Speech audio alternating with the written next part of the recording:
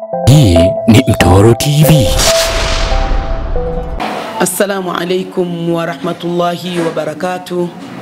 Alhamdulillahi rabbil alamin wala aqibatu lil lilmuttaqin wala udwana illa ala zalimin wassalatu wassalamu ala rasulil amin Muhammad sayyidi sallallahu alayhi wa sallama amma أما ya rabbi رب li sadri wa yassir li amri wahlul uqdatan min lisani yafqahu qawli. Namshukuru Mwenyezi Mungu Subhanahu wa Ta'ala ambaye ametujalia na kutuwezesha kupata muda, afya njema na kufikia siku hii ya leo tuliokuwa nayo na kwa muda huu tuliokuwa nao na muda tuliokuwa nao kwa kipindi ambacho tulichokuwa nacho kipindi ambacho leo tuna ibada kuu ya kongamano ambayo imetangazwa kwa muda mrefu, tulikuwa tukisubiri ili tupate fawaida mbalimbali kwa kutoka kwa maukti mbalimbali, na leo ndo tunaanza kilele tarehe 30, ndo tunaanza tarehe 30 na kilele chetu itakuwa ni tarehe mbili ambao mwezi wa kumi siku ya Jumapili usiku tunafunga kongamano letu.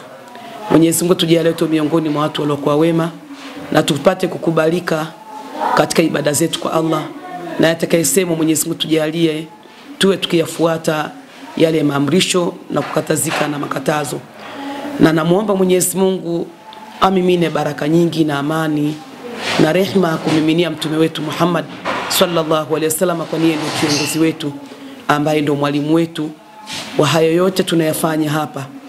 Hapa kunaitwa ni kituo cha kulelea yatima, kinaitwa Al-Hafidh Islamic Center ambacho kinachohusika na malezi ya yatima na wenye kuishi kwenye mazingira magumu.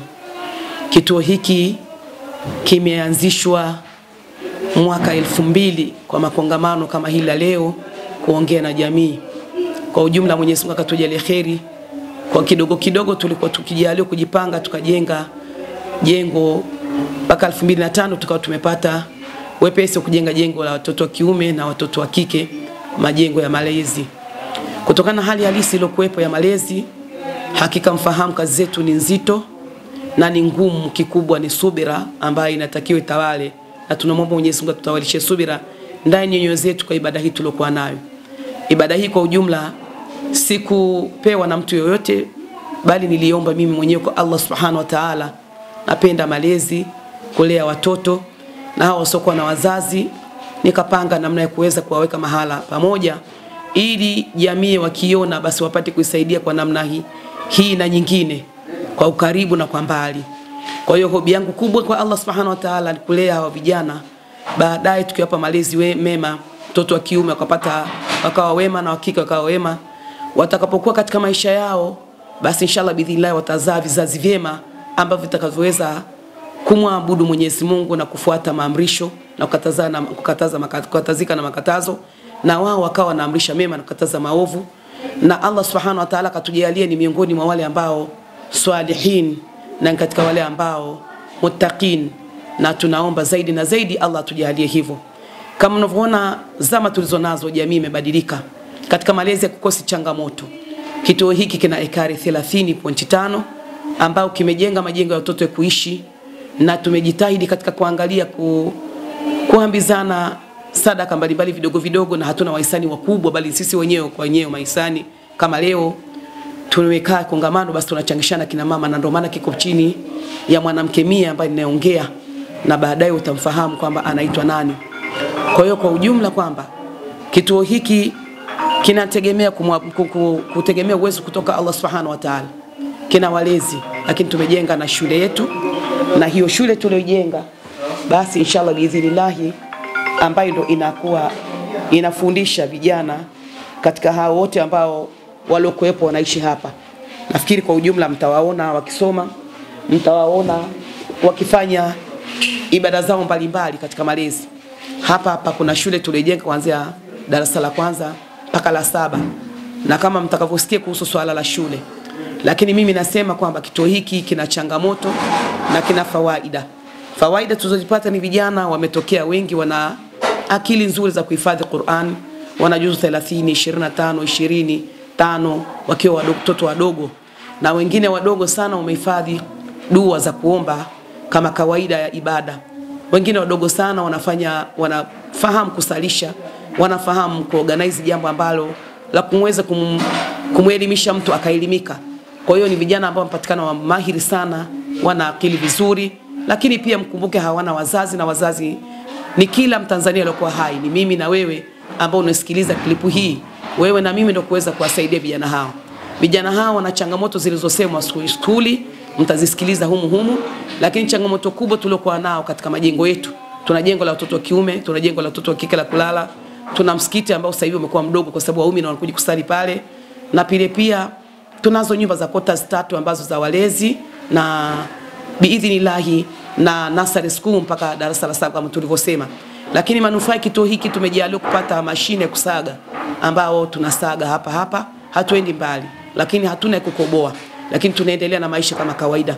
Manufaa mengine ndio hiyo shule tulioijenga.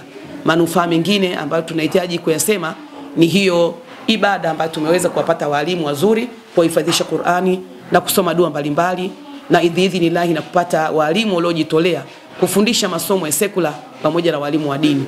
Hawana mshahara wa aina yoyote, mimi kama mimi ninavyosema, hawana mshahara wa aina yoyote zaidi ya sadaka ndogo ndogo ambazo hazikidhi mahitaji, lakini kwa sababu tulikaa nao kikao na tukaongea nao wakanikubalia, kwa hiyo ndio tuko hapo katika hali halisi ya kuwalea hawa watoto.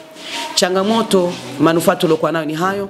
Changamoto tulizo nazo, tuna changamoto moja kubwa sana ambayo inatutatiza kubwa sana, zipo kubwa.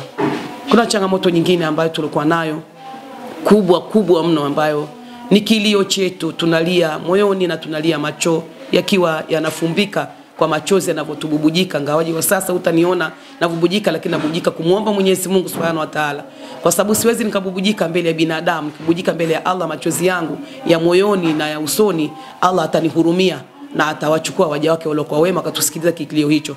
Kilio hicho sio kingine, kituo hiki hakina uzio, hakina uzio kabisa wa aina yoyote si wa wavu wala si, si wa senyenge hizi wavu wala si wa ukuta. Kwa hiyo tuna changamoto ambazo zinaweza kutukabili kwa watoto. Changamoto hizo tunatukabili hivi ninavyoongea hapa, na wiki ya tatu tulimpata mtu hatujui ni wenye akili, hatujui hana akili, akawa amekuja usiku na akawa anafungua milango ya vijana, milango ya watoto, tena kwenye jengo la watoto wa kike. Sasa maneno na madhumuni yake hatujui, wallahu rasul alam lakini ile milango anavyofungua kwa uwezo Allah subhanahu wa ta'ala, kwa kinga Allah anavyotulinda, kwa kweli tukawa tumeshtuka.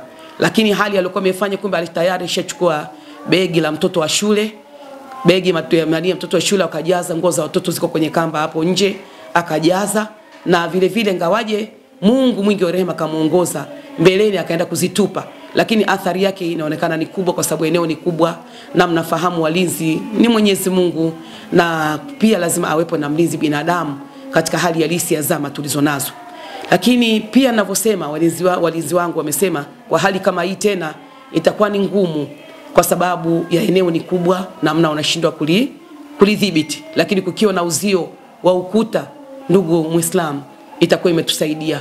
Ndugu mwenye huruma, ndugu ambaye unaye ni Mtanzania kwa hai na mwenye uwezo na wenye huruma zako, tuma huruma kwa kituo hiki cha watoto hawa. Mimi ni mama, nimejitolea katika hali ya kuwalea tu, lakini sina uwezo wa aina yote namna kujenga huo ukuta. Tunaombeni mtuangalie kilio chetu hiko, wewe Mtanzania na uliokuwa nje ya Tanzania na uliokuwa nje ya nchi aina yote unaosikiliza klipu hii, tunaomba utusaidie huo ukuta, na inshallah bidhinillahi huo ukuta tutausemea una gharimu kiasi gani baadaye kidogo kwa kuangalia ramani yake, lakini biidhinillahi tunaomba ala kula hali. Sisi hatutaki pesa. Mimi kama mimi mkurugenzi wa kituo sitaki pesa, atakeniamini kunipa pesa tampokea, lakini nataka uaminifu. Mtu akanitafutia tofali, akanitafutia nondo, akanitafutia uwezekano, kwa sababu tunajua kwamba kunahitajika tofali nyingi, sementi pamoja na nondo zinahitajika kwa ajili ya ujenzi wa kituo hicho. Na pia niseme kwamba kilio changu kikubwa ni hiko, ngawaje na kilio kingine ambalo kuna bwalo la chakula tunahitaji ambalo liwepo, watoto wanakula vizuri. Ndugu Mtanzania na ndugu kwa mwananchi wa aina yote, Muislamu wa aina yoyote na usiokuwa Muislamu wa aina yoyote mwenye huruma, nafikiri unajua unavyokuwa katika nyumba yako, nyumba yako ina uzio, nyumba yako ina, nyumba ina, ina milango vizuri, ina furniture zako ulizoziweka. Sisi hatutaki furniture, tunahitaji sisi utuweke katika hali kidogo ya usalama wa zama tulizonazo kwa sasa ya huo ukuta kutujengea. Kwa hiyo tuombe kwamba kilio chetu hiko mkipokee kwa mikono minane, nasi tunakituma kwa mikono minane, na inshallah bidhinillahi Mwenyezi Mungu atakulipeni. Sisi hatuna uwezo kuwalipa, na mpaka hivi leo, kwa sababu ni kongamano, tutaendelea kuomba dua Mwenyezi Mungu awajalie awatoe watu wake maaskari wake wenye moyo ili waje watusaidie. Na hata hivyo, katika hali halisi iliyokuwepo, tungekuwa na uwezekano mngetuona tuko katika hali kama hiyo nzuri, lakini hali ni ngumu, na mnavyoangalia sio hali ngumu ya kivipi, kwa maana ni hali ngumu ya kukosa huo uzio. Kwa hiyo kwa ujumla, kilio chetu ni hiko, tunaombeni mtupokee kwa mikono minane, tunaombeni mwenye moyo wa kujituma, mwenye moyo wa huruma, tuhurumieni, tuhurumieni, tuhurumieni, tuangalieni, tuangalieni, tuangalieni. Mkituhurumia nanyi mtahurumiwa, na mkituangalia inshallah kwa jicho la huruma, nanyi mtahurumiwa na Mwenyezi Mungu Subhanahu wa Ta'ala. Kwa inshallah mpaka hapo biidhinillahi, niishie kwa haya machache na yatatutosheleza endapo atasikia mtu wa Tanzania na asokuwa Tanzania, kama atasikiliza mtu wa nchi yoyote katika ulimwengu wote dunia hii tuliokuwa nayo, tunaomba mtusaidie inshallah biidhnillah. Sina la ziada, wabillahi taufiq. Mimi mwongeaji naitwa Ukhti Aisha Khalfani Jumanobe, ndo mkurugenzi wa kituo hiki au mlezi mkuu wa kituo hiki au muasisi wa kituo hiki. Kazi zangu mimi ni malezi na ni mwalimu wa dini. Hapa nina malezi na pia ninafundisha watoto wasichana boarding, wanasoma kwa miaka mitano ili kuchukua elimu zao ili kupata kwenda kuendeleza na kwenda kuendelea na maisha yao. Kwa hiyo inshallah, kazi yangu mimi ni mwalimu na ni mlezi, na ndio kazi niliyochagua mbele ya Allah subhanahu wa ta'ala. Kwa mawasiliano zaidi inshallah biidhnillahi tutawasiliana, anataka kutusalimia kwa sifuri kwa, kwa namba 0784 85 99 03 Airtel, na kwa mawasiliano mengine namba ya Tigo 0714 85 9903 na mawasiliano pia ya Voda 0767 85 9903.